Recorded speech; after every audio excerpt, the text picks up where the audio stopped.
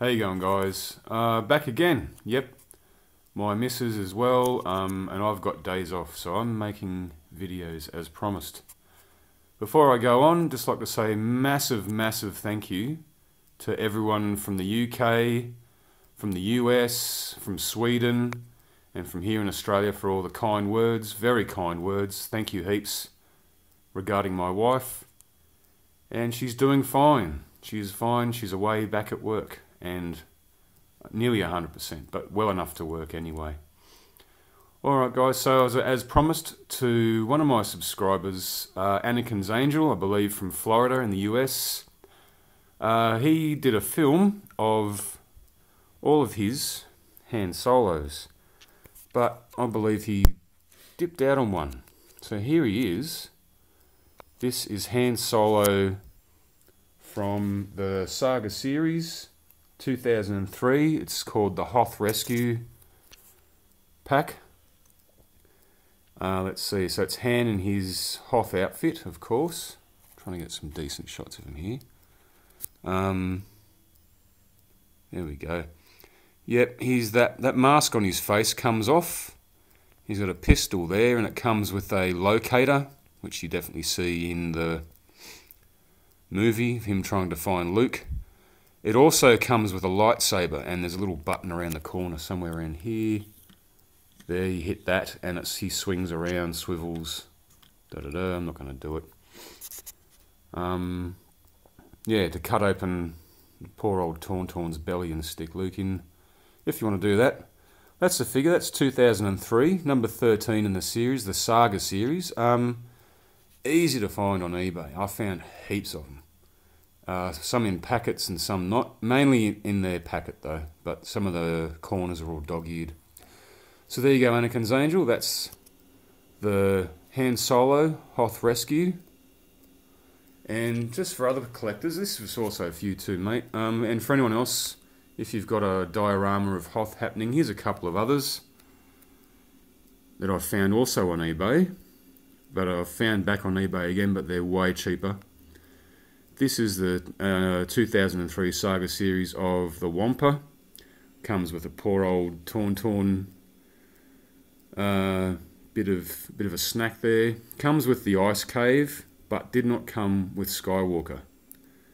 That's why I bought the Tauntaun, which is from the 2003 series. Now the Skywalker sitting on top there is one of the old Power of the Force 97 but it's because I got him and swapped him and hung him upside down. So therefore, Skywalker is forever hung upside down in that bit there. They're all pretty good. They're all fairly cheap now these days. Um, here's another bit for the from the Hoth series. It's General Rieekan. That's again from 2003. Uh, and the board thing behind him there. Uh, there's an, the only other General Rieekan I've seen does not have the console thing at the back. So be mindful. It looks better if you've got the console, I believe. Uh, it's a K3PO, which is from the uh, Power of the Force series, and R3PO. I hope they've got them the right way around. Probably haven't. He's from the Saga series. They go well with the Hoth, the Hoth series of Hoth diorama.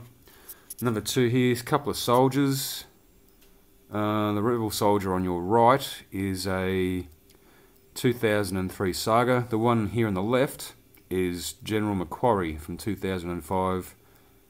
Came with all of his um, concept figures. Actually made a concept figure of Mr. McQuarrie himself, which is awesome. I like it. Also, these two guys here, 21B and FX7, they're 2000 series in the Power of the Force series, I believe, or whatever was in between the Saga and the Power of the Force. Here I haven't got the Bacta tank, but that's on order. I'm getting it soon. The Bacta tank looks awesome with Luke in it. And these figures fit on nicely. So that's them. They're pretty easy to find and acquire.